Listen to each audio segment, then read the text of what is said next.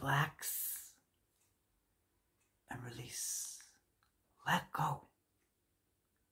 And elevate yourself. Anchor yourself. Take yourself to a higher level.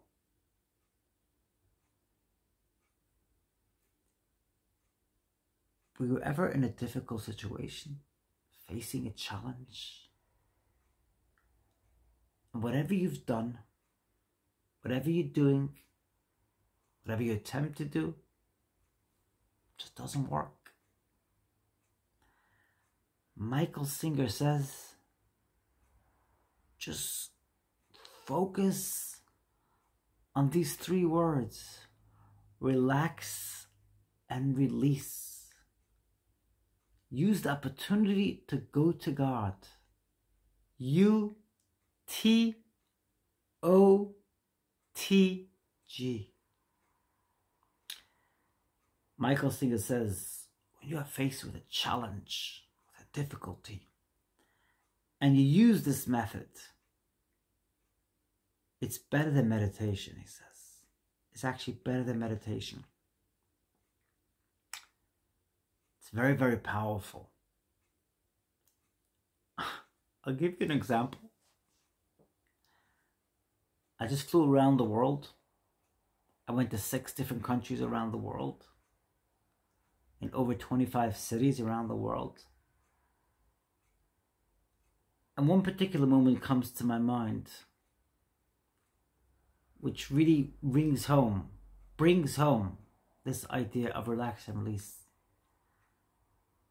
I on my way to Israel, and we had a stopover in Poland and had less than an hour left to catch my connecting flight. And we had to stand in line. We had to wait in passport control. We had to have our passports stamped before we could move forward.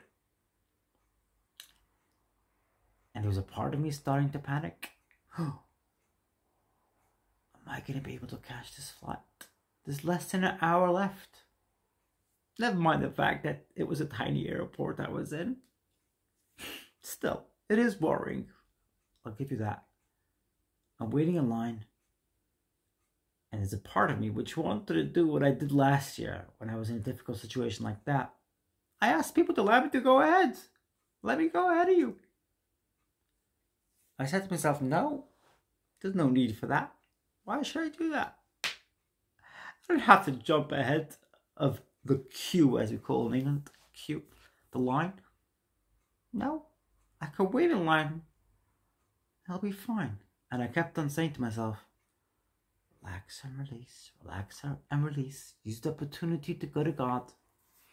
And I did. I used the opportunity to go to God. And I waited in line. Took about 15 minutes or so. So we're 45 minutes left to the connecting flight. That's what we have left now maybe even been less. I think it was like 35 minutes left. In any case, I got through to the other side of the line. It does help the fact that I didn't have any luggage with me. Had my little backpack with me, which, by the way, is the best way to travel. I found to be the best way to travel. In any case, I was relax and release, relax and release I got to the other side of passport control, they said to me, you could explore Poland. And I was like, sure thing, within the next half hour or so. I went up the steps, and what did I see? A whole bunch of ultra-Orthodox Haredi Jews. How's that for relax and release? It was amazing. I wanted to kiss every one of them because I didn't know where the connecting flight was. It's an airport, right? But once I saw these Haredi ultra Orthodox Jews, I knew exactly where I had to go. I've never seen, by the way, so many Jews on a flight in my life. And in any case, we went through the check-in, security, whatever, and we got onto the connecting flight. It was amazing. On a similar note, on my flight back, we stopped off in Cyprus. And I I said, I'm not going to just sit put. We have four hours to the connecting flight. I'm going to do something whilst I'm here. So I took a bus and I was very pleased and glad to hear that it was a national holiday. So I got a free bus. Cool. And also somebody happened to give me money to pay for the buses. So I had even had money to to use and buy something to drink or whatever. I got on the bus. I got from point A to point B. I saw the beautiful landscape of Cyprus. And then I realized, by the way, my connecting flight is going in about two hours. So I need that bus to come right now. I need that bus to come right now. Well, the bus didn't come right now. And the 425, which is the number bus which passed by, passed by. I had to take the 425. And the bus driver says to me, two, three minutes. Don't worry. I'm like, good. Yeah, two, three minutes.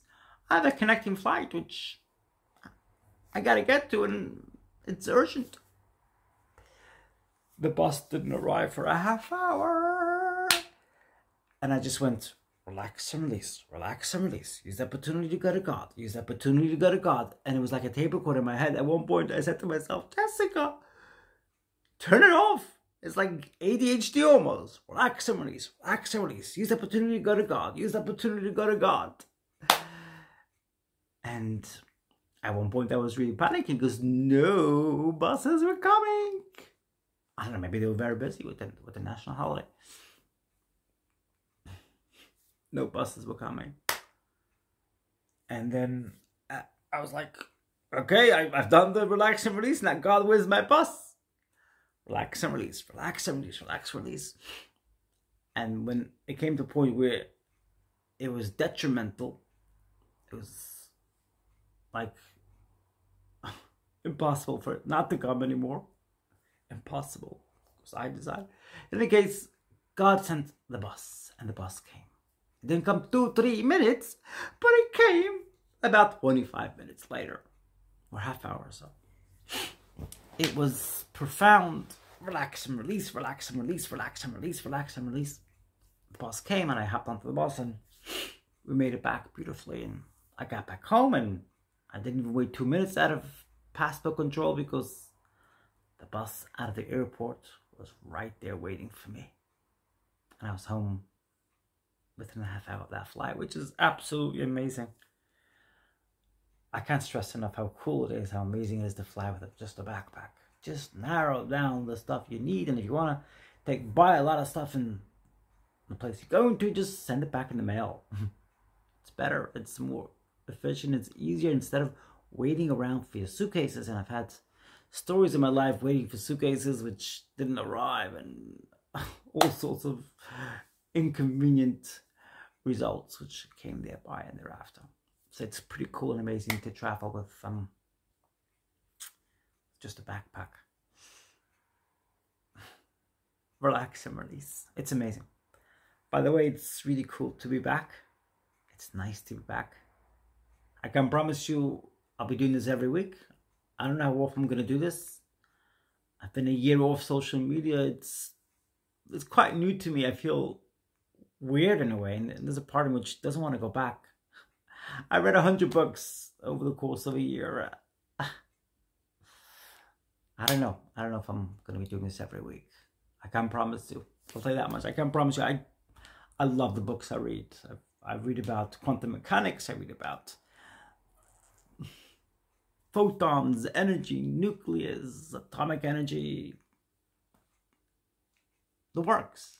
Einstein's theory, Bohr's theory, the conflict between Einstein and Bohr, Bohr Born, it's Bohr Born, Bohr Born, and I forgot the last guy's name. Just quite funny. We all have different theories when it comes to um when it comes to chemistry. Bohr, Born, and another Bohr I, I forgot. I'm slipped my mind. Let me see. Let me go check. I just finished this book tonight. I can't remember the third name, but it's three different Warborns, whatever. It was so cool finishing this book. To read about Einstein and his theories and the fact that some people called him senile the latter 30 years of his life. Pretty cool. I could assure you he wasn't senile. I've read books galore. Business, entrepreneurship, um, science, evolution. Oh, evolution. Where I come from, evolution is like a taboo subject. Okay.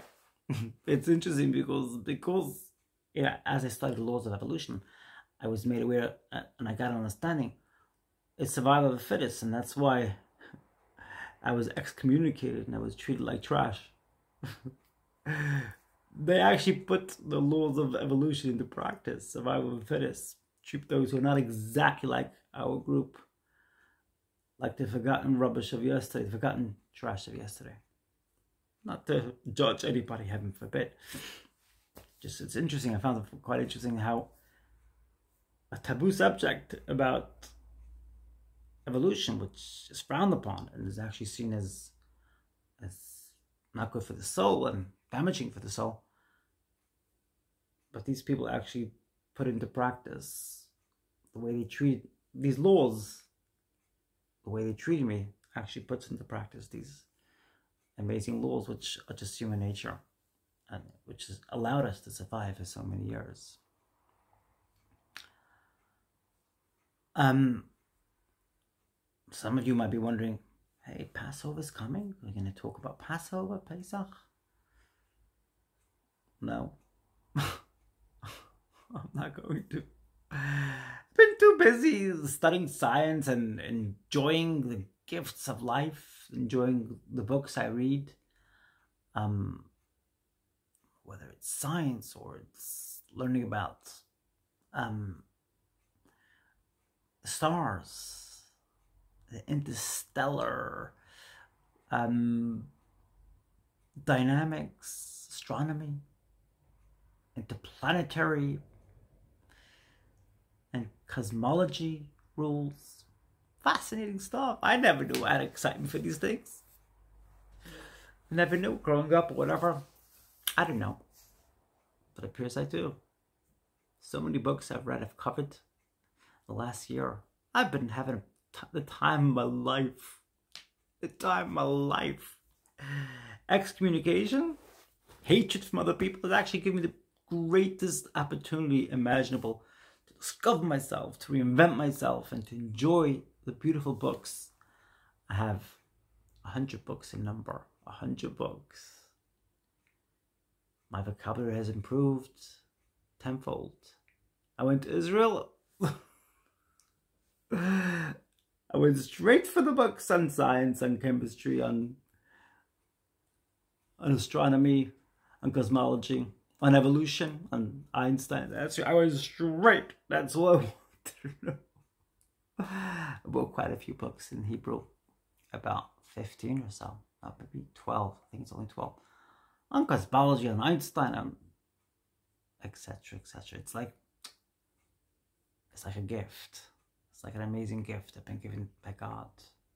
In exchange for rejection, hate, abandonment, I've recreated myself, I've reinvented myself in a beautiful way. And nobody could take that away from you. It's so perfect, so beautiful, so precious. And I've also been able to do a meditation every day in a beautiful way. That's my message today. If you enjoyed this amazing message, I'm sure you did, Mike, like you always tell me you have, and the rest of you, why not leave your amazing thoughts and insights? You want me to carry on with these amazing videos? I don't mind, but I gotta see a little bit more feedback to do that. On spirituality, I'm a very spiritual person. I was in Israel just now and I gathered together Jews and Arabs and I got them to sing together. Jews and Arabs, men and women, I got them to sing together and celebrate God by doing so. I was on my way to the Western Wall and I met some non Jewish people and I said, I got to get them to, you know, celebrate the gift of life. They didn't want to pose for a picture, but in any case, I made an attempt. I mean, they com- they converse with me about the love of God, the love of life, the love, the gift of life, which is good enough, really.